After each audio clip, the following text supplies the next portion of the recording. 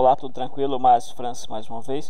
Uh, hoje eu vou estar falando aqui com você, comentando com você sobre a questão da Idade Média. No vídeo anterior falamos sobre a Idade Antiga, questão já explicamos aí as várias divisões. No, no vídeo anterior também, em um vídeo anterior, já falamos sobre essas divisões dentro da história, comentamos um pouquinho rapidamente.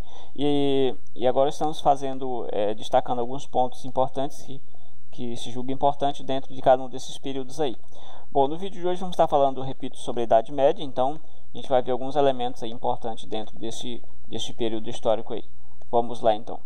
Então, este período chamado Idade Média, que a gente pode perceber, ele tem vários acontecimentos e várias, várias questões que a gente pode estar verificando aqui.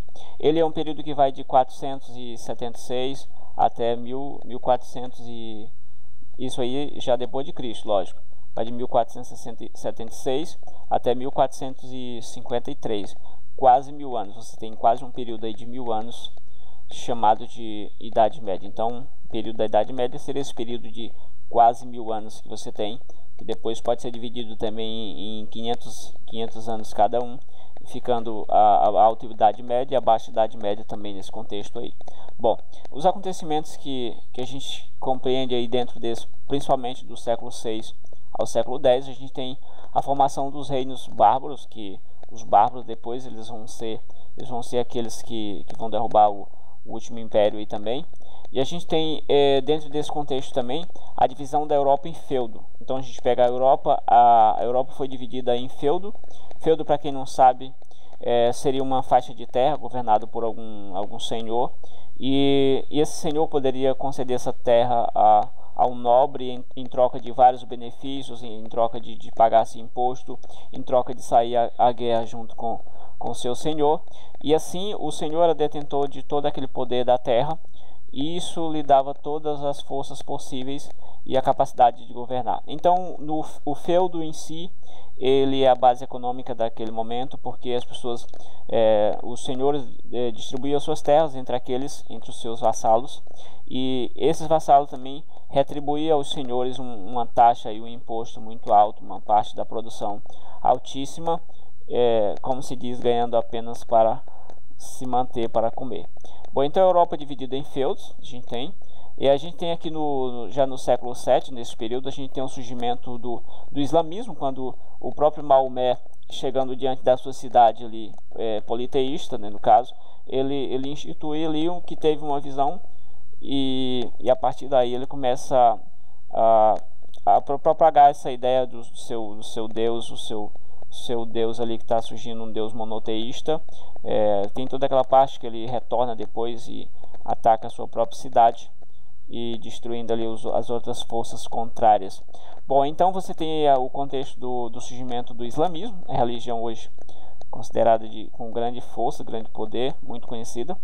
Uh, então você tem depois também a divisão da, da Igreja Católica, né, ou ali, aliás, a Igreja, a divisão de, de, dessa, dessa comunidade cristã, dessa, da, da questão do cristianismo, o cristianismo se dividindo aí em igreja católica, que a gente conhece hoje aqui, e igreja do é, ortodoxa, isso aconteceu no ano, no ano 1050, aproximado aí. Essa igreja ortodoxa, a gente vai pensar que é, quando o império se divide, isso um pouquinho acima que já, já comentamos isso aí, o, quando o império se divide, o que que acontece? Aí você tem uma, fica-se uma sede em Roma e você tem outra sede do Império em Constantinopla, em uma região totalmente diferente, um ficando no Oriente e outro ficando no Ocidente. Então essa essa divisão também vai ocorrer essa divisão da igreja ficando também a, a semelhança disso aí, ficando uma igreja chamada de Igreja Católica e outra chamada de Igreja Ortodoxa ou Igreja de Constantinopla. Bom, a partir do século XI também a, a retomada da, da vida urbana que antes a gente tem que as próprias forças aqui a gente observando aqui nesse nessa nessa apresentação a gente vai perceber um detalhe aqui importante que é, quase que passava despercebido a questão dos feudos então os feudos são controlados por por um nobre e aqui você tem que nesse período que a Europa é dividida em feudos, você tem que as cidades elas, elas entram em, decadência no funcionamento. É, e logicamente você tem uma, uma questão da a vida urbana e você tem a questão rural, né, é melhor dizendo. Você tem muito isso aí, um reforço da questão rural. Então as cidades entram em decadência, os intelectuais se refugiam no, nos mosteiros também, é, você vê aquela, aquela ideia do, dos monges, daqueles que se escondiam nos mosteiros para copiar os textos, para estudar, para refletir sobre a questão intelectual. Bom, dentro disso aqui, passando essa parte, esse contexto aqui, a gente vê que depois dessa divisão aqui, do, a gente tem a tomada do, a retomada da, da vida em, em, em, na cidade, né, questão da vida urbana, a questão do comércio, a partir do século do século XI ela começa a retomar. E aí posteriormente a gente vai ter a questão da ascensão da daquela daquele povo, daquela classe que depois se convencionou chamar de, de burguesia. Então esses comerciantes, esses esses comerciantes eles começam a se aflorar, se desenvolver mais e mais, e a igreja vai perdendo força neste período também, então eles começam a, ascender ao poder. Ok, então a gente tem também a, a, difusão do conhecimento, e é interessante esse, esse tópico aqui, porque a gente vai perceber dentro da idade, da idade média, nesse enfraquecimento da, da idade, da baixa idade média, e já um, um caimento da, dessa visão. Você tem que, nesse período aí, você tinha a, a divulgação do, do, do pensamento do, dos, dos, pensadores islâmicos, né? Os, os, os, estudiosos islâmicos, você tem essa divulgação do, do pensamento através desses, desses estudiosos. E você tem também a, a introdução de, de, textos de Aristóteles, é um retorno, uma representação, uma volta ao pensamento aos textos de Aristóteles.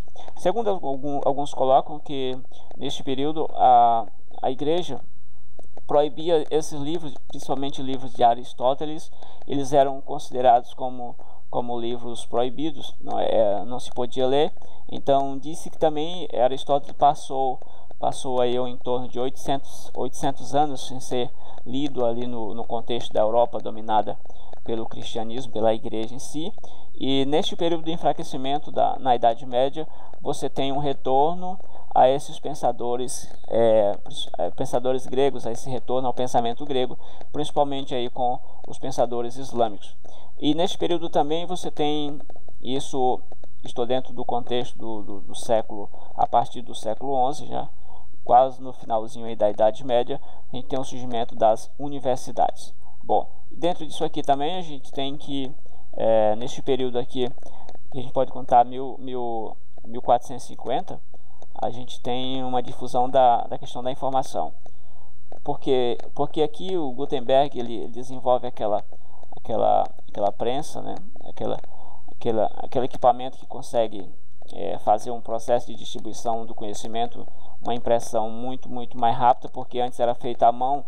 Então, com isso, é, eu observo que isso vai gerar aquela sensação de eliminação do erro, porque no, no manuscrito você tem muita chance de errar, você tem sempre o copista estava lá copiando um texto, errava, jogava fora, ou enterrava, queimava, ou deixava ali com erro, tinha que fazer todo o trabalho. Então, era um trabalho muito cansativo. Então, com a imprensa, você tem aquela ideia da máquina de Xerox, que consegue tirar uma cópia perfeita, e isso aí e transmitir o conhecimento numa velocidade muito, muito maior, a questão da informação.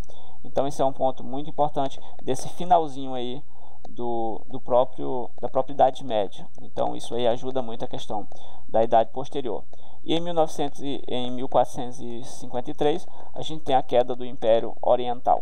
Então, primeiro você cai cai o, o, primeiro império, isso mil anos antes, depois você tem a queda do segundo império. Então esse período entre a queda de um império e a queda do outro é chamado de Idade Média. Ok.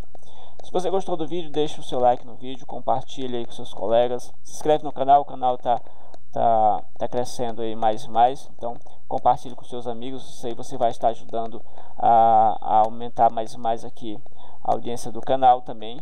É, também deixe o seu comentário embaixo aí o que você achou, quais outros elementos também você poderia destacar nesse período aqui. E até a próxima aí. Valeu, galera.